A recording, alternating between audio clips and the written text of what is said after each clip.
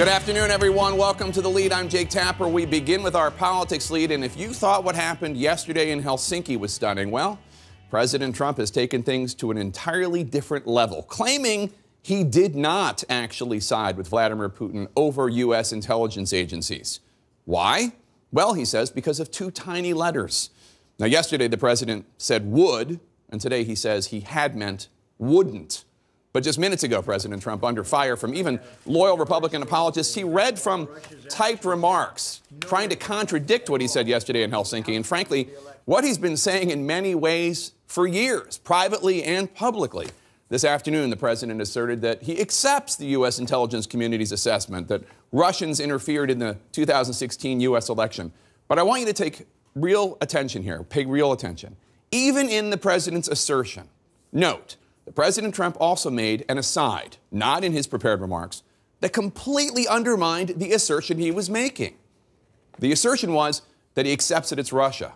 But then he noted that it could have been other people too, completely contradicting the intelligence community. Take a listen.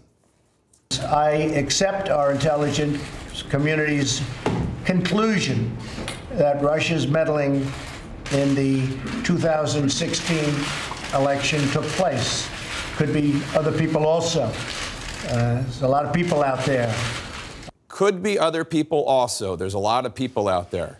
This attempt at a cleanup comes, of course, one day after President Trump stood on the world stage and refused to side with U.S. intelligence agencies over the former head of Russia's top intelligence agency and now Russian president, Vladimir Putin. Now, even more than that, according to the consensus view of experts who are Democrats, Republicans, the House Intelligence Committee, the Senate Intelligence Committee, intelligence chiefs under Obama, President Trump's own intelligence chiefs, the consensus view that the U.S. was cyber attacked by Russia. Despite all that, yesterday the President of the United States sided with the man responsible for the attack on the United States, not with the people of the United States. Now, President Trump tried to explain this today by saying he misspoke in one key part of his remarks yesterday, in, in which he said this President Putin uh, he just said it's not Russia.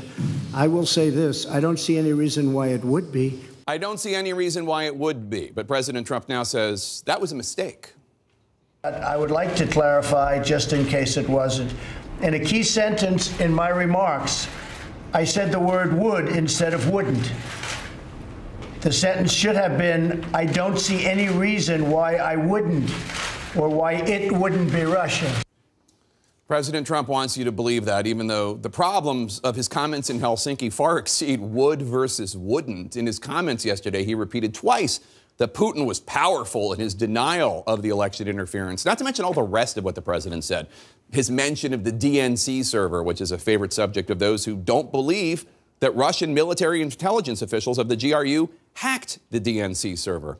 Uh, but here's the key White House sources tell me that what the president said in Helsinki his skepticism of the intelligence community's assertions about the Russian cyber attacks, an affinity for Putin, a desire to side with the Russian president on this and, and other issues. That's what the president says privately. In other words, what we heard in Helsinki, that's what President Trump believes.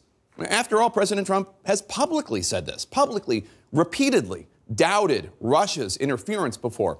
Here's just one example, perhaps the most infamous. And it could be Russia, but it could also be China. It could also be lots of other people. It also could be somebody sitting on their bed that weighs 400 pounds.